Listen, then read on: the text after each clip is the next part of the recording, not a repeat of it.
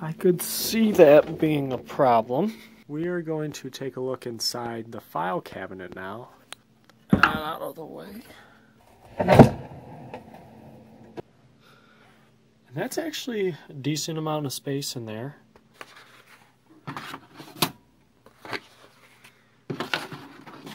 Nice and organized.